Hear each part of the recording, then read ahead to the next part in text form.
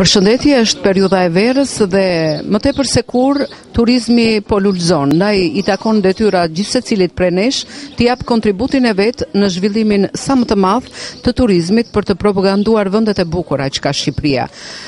Ë në këtë ide jemi dhe në bisedë me Hana Pajën. Përshëndetje Hana. Përshëndetje, faleminderit për intervistën. Fillimisht do t'ju pyesnja cili është mendimi juaj, çfarë duhet të bëjmë për të kontribuar në drejtim të zhvillimit të turizmit në Shqipëri? Për të kontribuar në në një tër, në një turizëm sa më perfekt, sa më të mirë, duhet gjithmonë të kemi një menaxhim perfekt të vendit sa më turistik, sa më të mirë sepse Shqipërisë ato nuk i mungojnë. Kemi vende shumë shumë të bukura, shumë të larmishme, Male normalisht kemi dete të pafundme domethënë si deti Jon, deti Adriatik, duhet të kemi menaxhim, që do thotë, kemi një gjithashtu dhe një reklamim të këtyre vendeve. Nëse shkojmë diku në në jug, domethënë duhet të kemi si primar reklamim të atij vendi.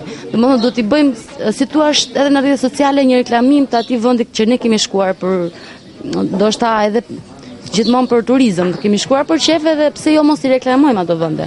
Domethënë të jemi aktivë në këtë pjesë që si e si të tërheqim sa më shumë turistë. Duhet të jemi shumë shumë aktivë në këtë pjesë. Po për sa i përket biznesit, a mendoni se bizneset shqiptare konkurrojnë denjësisht në tregjet ndërkombëtare? Çfarë duhet të bëjnë? Ë nuk mendoj që i konkurrojnë, ka një ngërç këtu që që nuk shkon. Duhet të jemi më shumë eksportues se sa importues.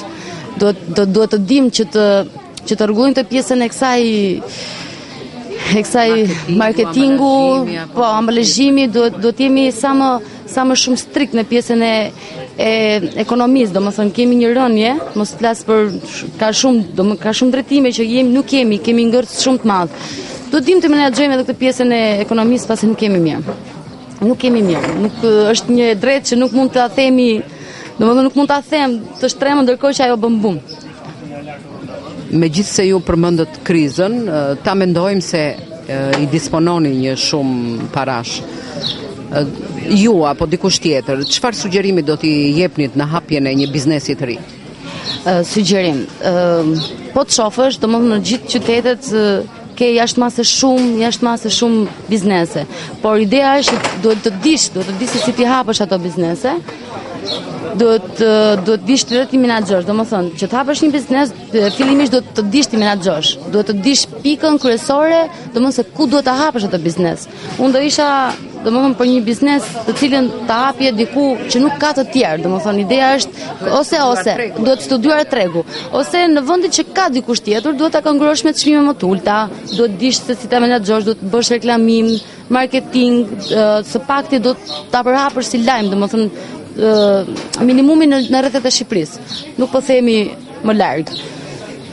Ndoshta nuk më kuptuat, i, idenë, Çfarë ide do sugjeronit për një biznes të ri donja Toja? Ide, unë personalisht kam pasur një biznes në lidhje me aksesorë femrash. Domethënë, kisha aksesorë të ndryshëm femrash, edhe pak meshkuj, por që ia kam dalë, kisha edhe pak eh, sezonal në fakt, vetëm periudhën e verës, sepse normalisht jetoj në Durrës edhe vetëm këtë kisha si hapësirë, domethënë gjatë kohës së verës sepse isha edhe në shkollë viteve gjatë kohës së dimrit, kështu që ia kam dalë në lidhje, siç e thashë, domethënë për çmimet i mbaja sa më të konkurrueshme në treg. I mbaja pak më të ulëta, edhe kjo është ideja për një biznes, të kesh një, një konkurrim në lidhje me çmimet më, më të ulëta. Kjo është ideja ime. Faleminderit, Hana. Faleminderit edhe juve, gjithë të mirat.